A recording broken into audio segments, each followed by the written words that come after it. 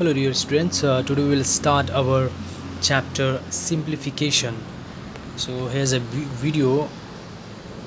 You can see this video to understand this chapter.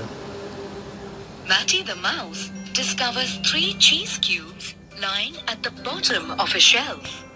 Matty wants to get to the cheese, but wait, he must use his math skills to reach the cheese.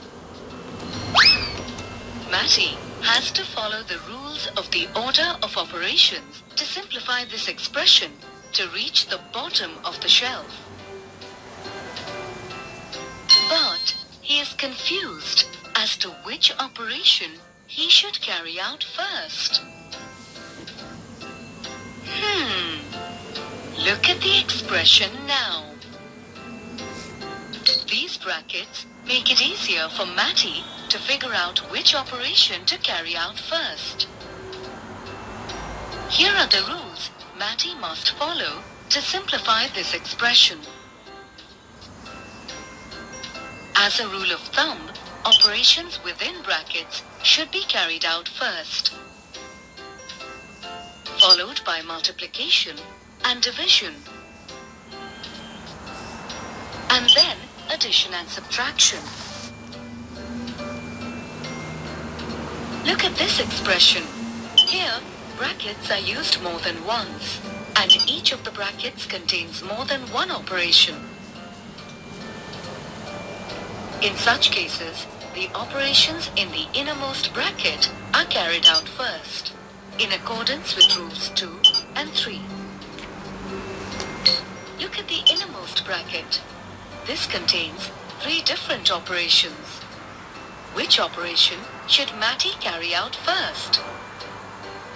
Hmm. To simplify this bracket, Matty must follow rule number 4. According to the rules for the order of operations, multiplication and division should be carried out in the order in which they appear, going from left to right. So Matty must first multiply 5 and 4, which will give him 20. Then he must divide 20 by 10, which will give him 2. This should be followed by subtraction. Hence, subtracting 1 from 2 will leave him with 1, thereby simplifying the expression in this bracket.